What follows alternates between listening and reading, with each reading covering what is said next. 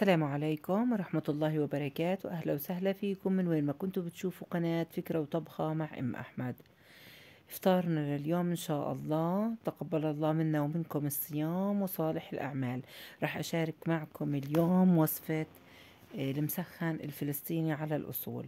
اليوم إن شاء الله هو كان فطورنا على سفرة رمضان وكانت آه، آه، التحلاية اللي هي قطايف بعجينة عن جد مميزة. عملته بثلاث حشوات والثلاث حشوات أطيب من بعض.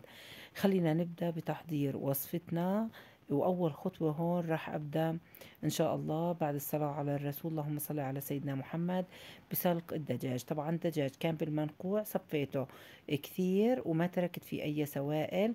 وبعد هيك رح تبدأ عملية السلق حضرت طنجرة واسعة وقطعت فيها بصلة حتى أشوح الدجاج. طبعا أنا عندي هون دجاجة ونص وزن الوحدة تقريبا كيلو و200 جرام. نقعتهم بالمنقوع تقريبا أربع ساعات لأنه كان في معي مجال ووقت طويل. وبعد هيك صفيتهم وشوفوا هاللون ما شاء الله ما أحلاه ناصع وأبيض. راح أبدأ بعملية السلق حتى أعمل آه، آه، مرق آه، بنكهة عن جد مميزة. اليوم ما راح أضيف عليه أي بهارات صحيحة سوى الملح والكركم وأكيد ورق الغار.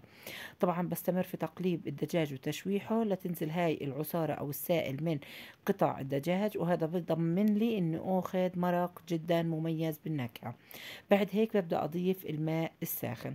طبعا الماء ضروري يغمر قطع الدجاج وما تزيدوا كمية كبيرة من المرق لحتى يطلع مركز أكثر لأنه طبقنا لليوم بحاجة لمرق يكون آه، في آه، دسم آه، بشكل واضح.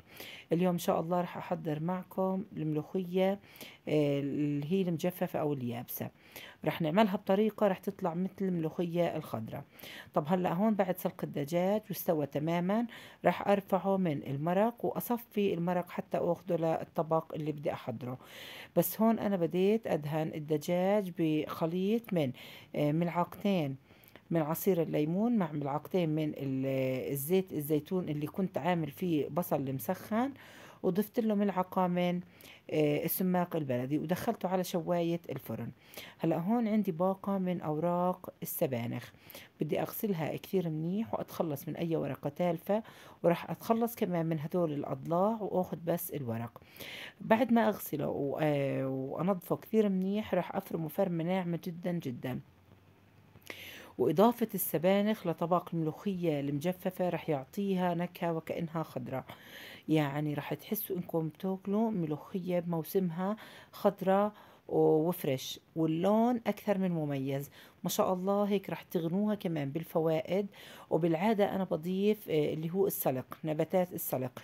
إذا مش متوفرة بتضيفوا السبانخ برضو رح يعطيها نكهة مميزة بس أهم خطوة ما تستغنوا عنها اللي هي غسيل السبانخ كثير منيح لأنه بكون عليه أتربة وبكون معرض للتلوث أكثر من أي نباتات لأنه بكون مكشوف. بغسله بماء وخل وملح وبعد هيك آه، بصفيه من هاي المي وبضيفه بمية عادية وبشطفه أكثر من دور حتى يكون مميز.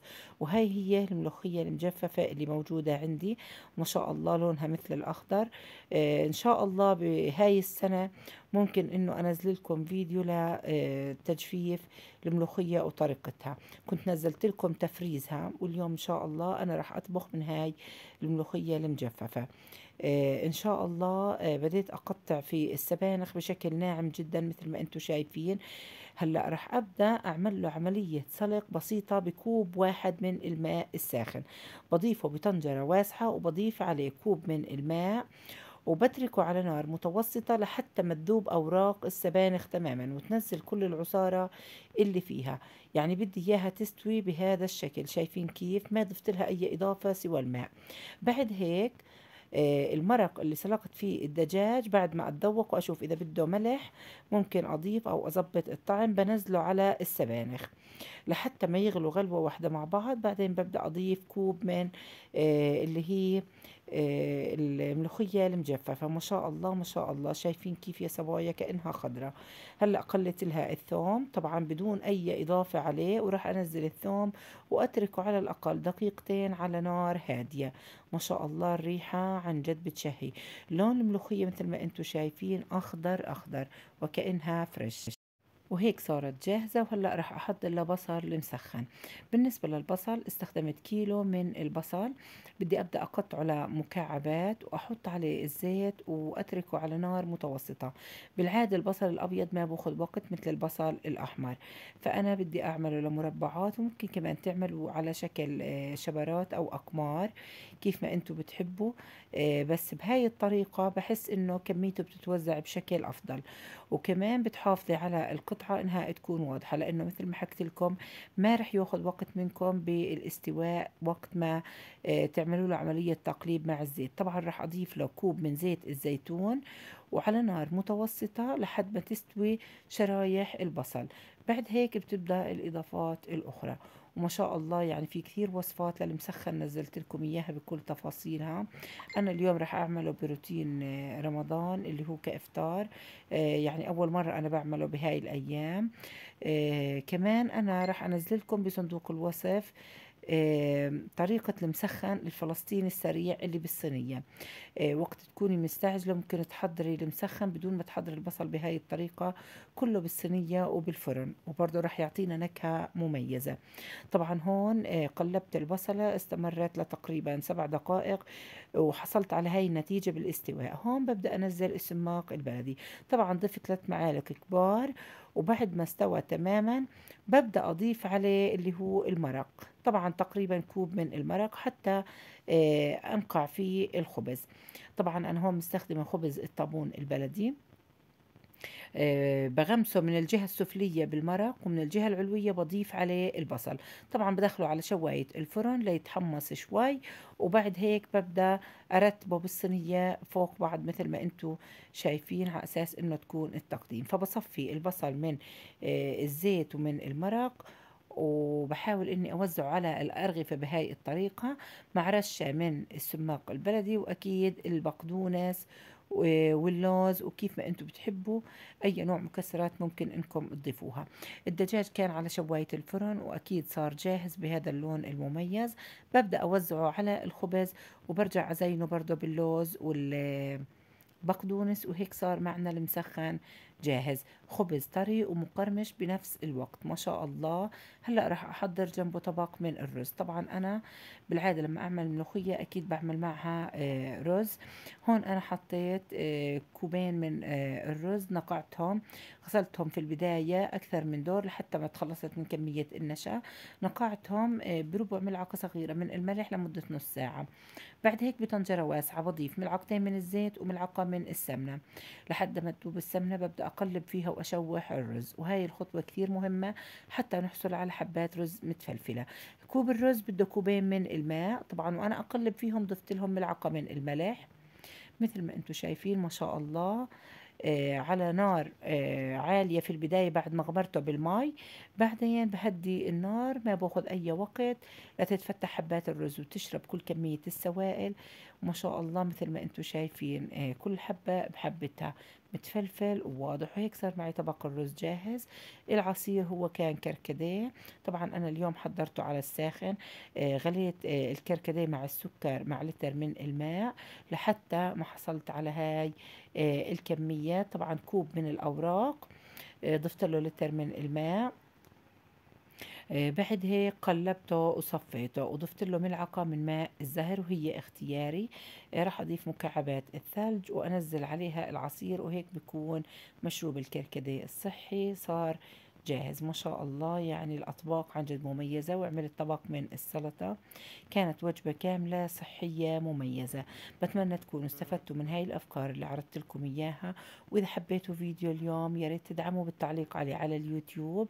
حتى ترتفع الوصفة بمحركات البحث وشاركوها كثير من الصبايا. بس لو لسه مش مشتركين بالقناة بتمنى إنكم تعملوا اشتراك وتفعلوا الجرس لحتى يوصلكم كل جديد بنقدمه ما شاء الله طبق ملوخية مثل ما أنتم شايفين اللون أخضر عن جد مميز. آه العصير كان كثير بشهي. رح أترك لكم وصفته بصندوق الوصف بالمقدار آه والأكواب حتى تجربوا الوصفات. دامت سفرتكم إن شاء الله بهداة البال مع أحبابكم. وأهلكم. وهيك أنا بديت أحضر بوصفة الحلو. وصفة الحلو أكيد صرتوا كلكم تعرفوها هي قطايف رمضان. أنا اليوم حضرتها بنفس العجينة اللي أنتوا تعودتوا عليها. برضو بترك لكم إياها بصندوق الوصف. وهون أنا بديت أحضر بالقطايف بعد ما سخنت المقلاة. أنا اليوم راح أعمل جزئين. راح أعمله عصافيري وراح أعمل منه آه، القطايف بالحجم العادي. وبالنسبة للحشوات في عندي حشوة راح تكون بالجبنة. ضفت لها ملعقة من القشطة والحشوة الثانية عملتها بالمكسرات طبعا جوز ولوز وفستق حلبي مع جوز الهند والقرفة. والحشوة الثالثة اللي هي المميزة هلأ رح أحكي لكم عنها حضرتها بكوب من الحليب وعملت فيه مهلبية سريعة.